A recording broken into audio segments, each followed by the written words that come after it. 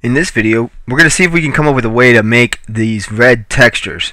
Now I told you we didn't want to put the red textures in so much. I mean, this is a lot down here, but I knew it was going to get a lot darker.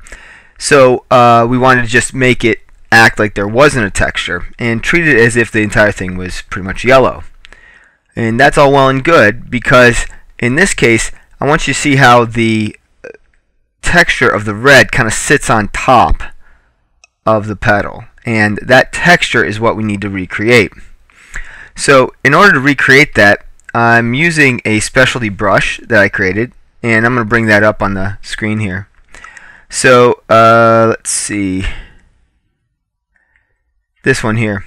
So if you were to take a look at this brush it's it's pretty basic blob brush just a bunch of splatter of dots and what I'm going to do is have shape dynamics um, a little bit of oscillation in that you see how that's going to help uh, put up a percentage so that it gets smaller and bigger. And a little bit of angle as well so I don't get tire tracks. And then we also put on some transfer. You can take a look at some of these other things like scattering or uh, adjusting the count to make it get a more dense version of it, but I'm not going to mess with those right now. Here is the final example here. So Shape Dynamics has 48, 32 on angle, and then transfer has pen pressure assigned to it. Now if I use this brush, I'm going to want to do it on a new layer. So I'm going to make a new layer, call it texture.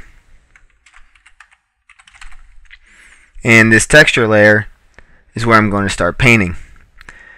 Now I want to get some good red in here and I'm going to work on that same petal we've been kind of playing with all day. And when I press down pretty hard I get a pretty dense looking looking picture.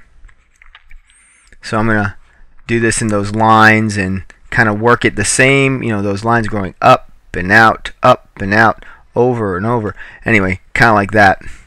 Now, in order to make it not so distinctive in certain areas, like right here versus right here, I'm going to want to do some sampling as I go to make it smooth out. I might raise my brush size as well to try and make it smooth. I'm going to also use some yellow brush and you'll see that using the color that's like almost already out here that I'm not yet really adding much is going to help get the right color. I'm shrink it down, go back, sample some of that good red again, take it over here. One of the things also, I'm not concerned about this edge or this edge right now because I have a plan for that. We'll talk about it in a little bit. And definitely want to get some vibrant red coming in here. Kind of branching out. And once again, want to sample it to make it fade into that orangish mode for those regions. So you're kind of just using that over and over again.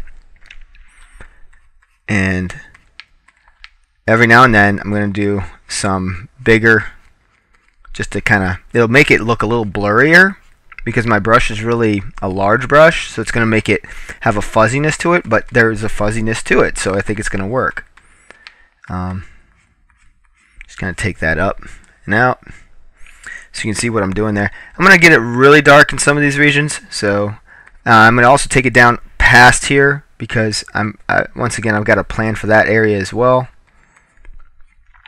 And I'm ignoring this. I'm just assuming that this would have continued over and ignoring that little shape. And I definitely want to make sure I'm getting some that vibrant red sticking in.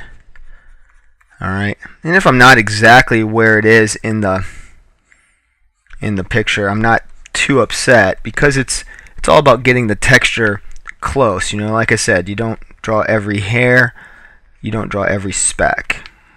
Okay, extend that up, and out here I'm going to start getting really big. You see how that works and some ye some of that yellow. Now, because I am painting opaque, I mean, eh, yes, it is semi-transparent just because I'm not pressing down super hard. I do want you to understand that I'm going to have to do something to make sure that this fades into the smoother version of it. Also, you see that there's dots up here too. I'm going to, let me see here, I'm going to zoom out some. And so you can see how that's looking so far. It's doing pretty good. I'm going to just keep that going. I'm to get some of this yellow out here and see if I can get some of that texture come through. Yeah, so let's see how that looks. We'll zoom in on that. Mm, yeah, definitely where I want it to be. And I'll continue that over here on this side as well. Once again, I'm not worried about this edge. I'm just going to fill this part in. And I'll be okay with going over it. It's okay.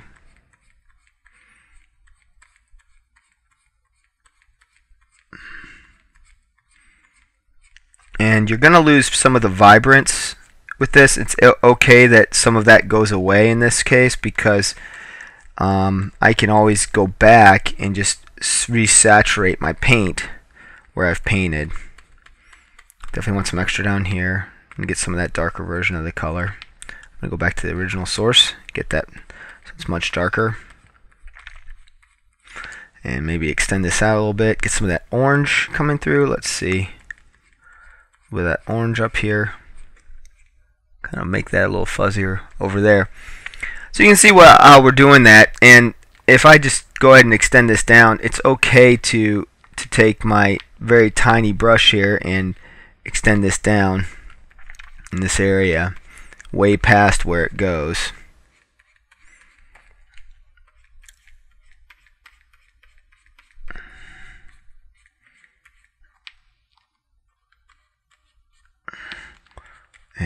Just kind of trying to see if I can get this little shadow thing here.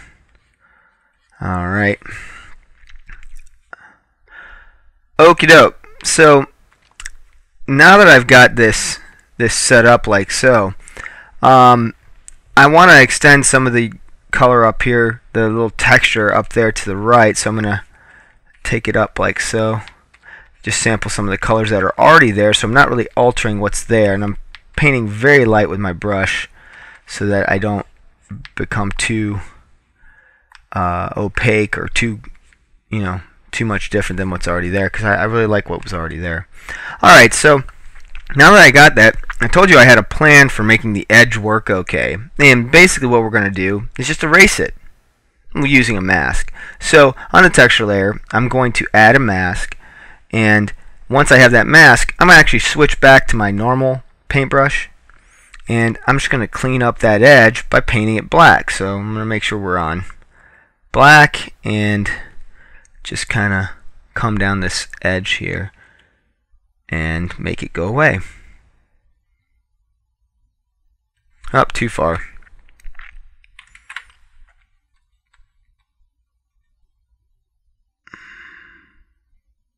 Like so. So you go all the way down like that. And then right here where I have that, let's zoom in on that.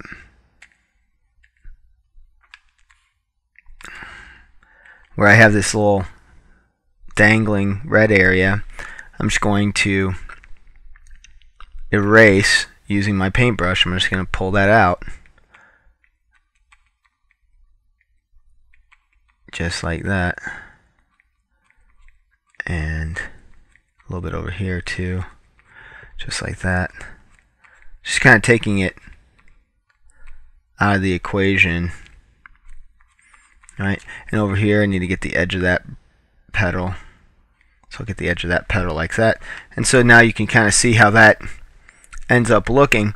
Now your next bet is to make sure that if there's any extra uh, stuff out here that you don't want you can always just make a very large brush and, and kind of kind of brush away some of that to mask it off a little bit, make it diminish. Alright, so let's say my brush looks good, but I want to make it a little more vibrant in that area. You can always um, kind of preview what you'd want to do with making it vibrant by just adding an adjustment layer. Now I'm going to undo this so you don't have to actually watch this whole thing, I can take a vibrance adjustment layer and I can make it apply just to that one layer so it's got the arrow popping down. So I hit the little double circle and it pops down. And I can increase my vibrance to make that redder. You see how that works? So like I've lost some of my vibrance. I can extend it back up using that method. You see the difference?